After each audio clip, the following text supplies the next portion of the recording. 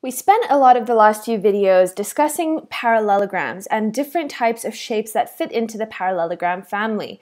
So the rhombus, the rectangle, and the square were all examples of different types of parallelograms. And in this lesson, I want to talk about a new type of family of shapes, and that is the trapezium. So here I have two different examples of trapeziums. And a trapezium is a quadrilateral. We can see that it has four line segments that are joined together, so it is a quadrilateral. But a trapezium is not a parallelogram. A trapezium is only going to have one pair of opposite sides parallel to one another. The other two sides are not parallel. So we can see in this trapezium, we have these two opposite sides which are parallel. These two sides are not parallel.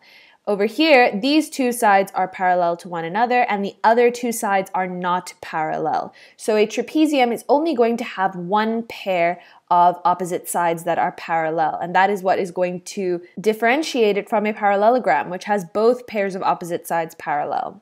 Now we're going to have two different types of trapeziums, or as other people may say it, a trapezoid. Both are correct. So the first type of trapezium we have is this first one over here, which is known as an isosceles trapezium. And an isosceles trapezium is going to have the non-parallel sides of equal length. So this side is congruent to this side. They are going to be equal in length. And you may have come across the word isosceles before when referring to triangles. An isosceles triangle is a triangle that has two sides of equal length. So that's one thing that you can use to remember that an isosceles trapezium is going to have the non-parallel sides of equal length. So these are our two non-parallel sides and they are equal in length. Then our other type of trapezium is known as the scalene trapezium. So that is the scalene trapezium that we have over here. And a scalene trapezium is going to be a trapezium in which each side has a different length. So none of the sides are equal. And again, we have the scalene triangle in which all of the sides have different lengths. So you can use that to remember that a scalene trapezium, the sides will not be equal. So in summary, in order to call a shape a trapezium in general, it is only going to have one pair of opposite sides parallel. So we can see this side is parallel to this side in this trapezium and this side is parallel to this side in this trapezium, but the other two sides are not parallel. So we know in an isosceles trapezium, our non-parallel sides are equal in length. That is going to be our first property of an isosceles trapezium. The second property is that our adjacent angles are going to be equal. And what that means is this angle is going to be equal to this angle, and this angle is going to be equal to this angle. These are adjacent angles, and adjacent angles are going to be congruent in an isosceles trapezium. The third property of an isosceles trapezium is going to be that the diagonals are equal. So if we were to put in two diagonals in this isosceles trapezium, this would be our first diagonal and this would be our second diagonal. These two diagonals are going to be congruent. They are equal in length. And in a scalene trapezium, our non-parallel sides are not equal. Our adjacent angles are not equal and our diagonals are not equal. So that is how we are going to differentiate between our different types of trapeziums. And what I want to do now is just take a second to prove that in an isosceles trapezium, the diagonals are equal. What I want to do is break up this isosceles trapezium into two different triangles. And to do that, I'm going to start by labeling this A, B, C, and D, and this point E. So if we were to make up a triangle that was composed of ACB, we would get something that looks like this.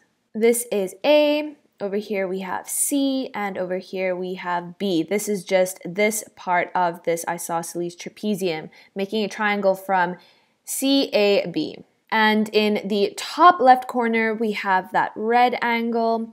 And for point C and point B, this red diagonal is going to split up those two angles. So these two angles are not going to be the same as what they are in here just because the diagonal splits them up. So this is the only angle we know for sure. We know that this side length is going to have this value.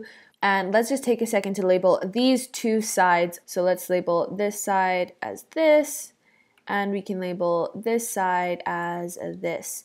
So over here is that side. This is the same side as this. So now we have one triangle that is going to be made up of our first diagonal. And I now want to draw out another triangle that has this diagonal. So it's going to be made up of A, B, D. And that triangle is going to look like this.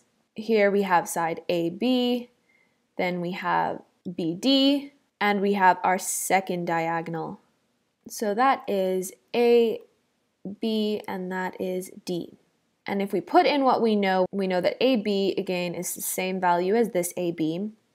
We know that BD is going to have the same value as AC, because these are the non-parallel sides of our trapezium, which are equal in length. And we know that this angle B, since we are not including the second diagonal in this diagram, this angle B is going to be that red angle, which is the same angle as angle A. So if we look at these two triangles, which we've just made by deconstructing this isosceles trapezium into a triangle here and a triangle here, what we can see is that, well, angle A is going to be equal to angle B.